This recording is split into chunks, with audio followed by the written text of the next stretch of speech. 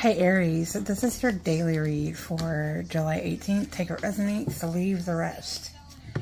Let's see what Spirit has for you today. Let's see what Spirit has for you today. Alright, Spirit. What do you have for my Aries babies for today?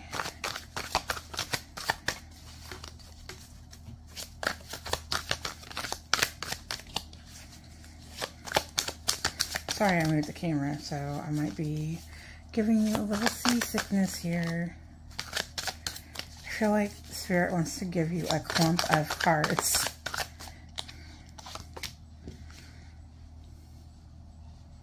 We do have the Three of Cups.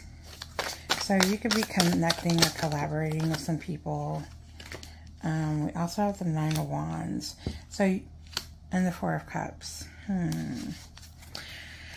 So you could be reaching out looking for support.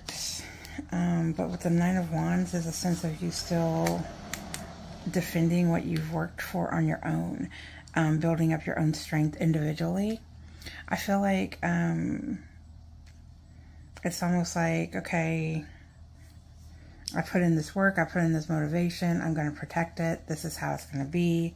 With the Four of Cups, you could be pulling back on your emotion uh, with the Four of Swords, there is a sense of you pulling back again. And it's almost like you're resigning or you're giving into a certain situation. We do have the Three of Pentacles, which tells me that you are collaborating with somebody to... I feel like you're collaborating with somebody to make things a little um, better or peaceful. So you're coming up with an idea on how things can be more solid. Um, the Four of Pentacles is like, it goes right along with the Nine of Wands, where you're defending your, your um, position. It's like you're holding some things, you're holding on to some things, but you're still trying to get a very grounding, stable position here. So some of you could be looking for a new job to where you're holding one job as you're looking for another. And we have the Ace of Pentacles where you are, you know, um, starting a new beginning. Could be saving money, could be investments. This could also be um, making things more peaceful on the home front uh, with another person.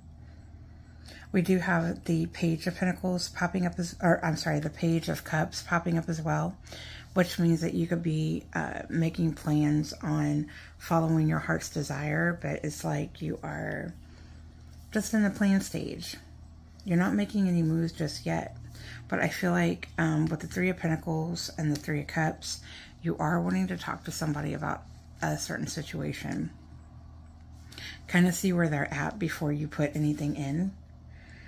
And so I feel like you could be in observation mode. Let's find out what energies are around you, Aries.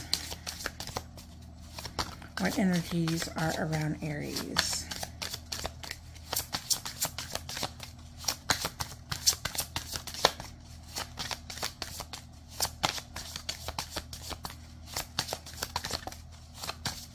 What energies are around Aries, Spirit?